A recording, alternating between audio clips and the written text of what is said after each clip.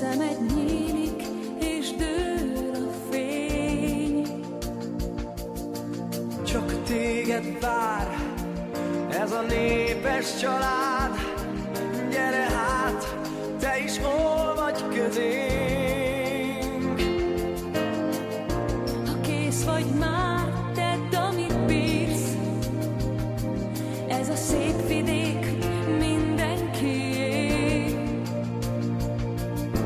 a jár,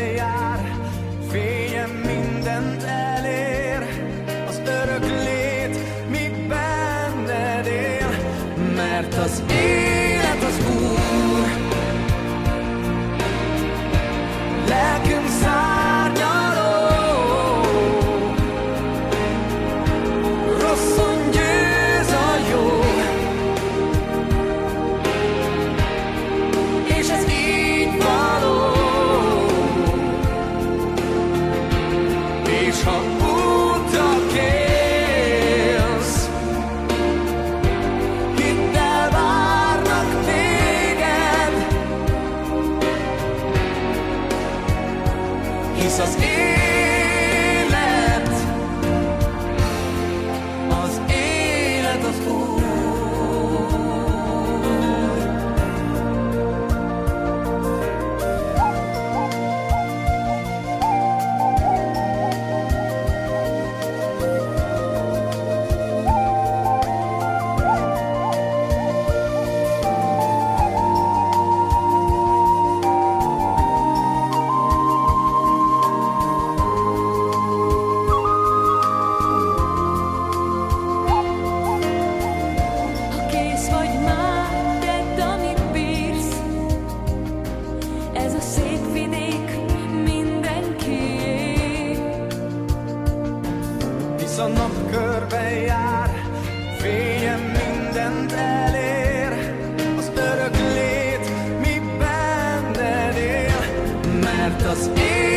élet az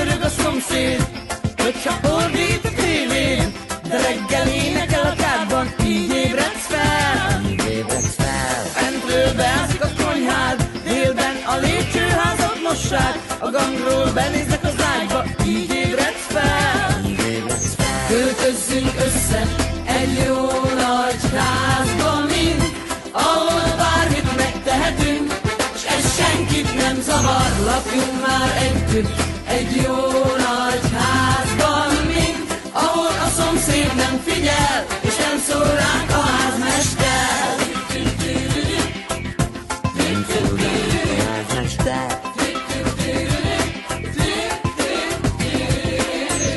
Csináljunk egy jó kis kommunát, lesz egy bőven kommunát, hozhatsz magaddal bárkit, így többen leszünk. Többen leszünk. A házunkban szabad az élet, nem megy, a közösből élek, és este, ha úgy akarod, mind együtt leszünk. Együtt leszünk. Öltözzünk össze, egy jó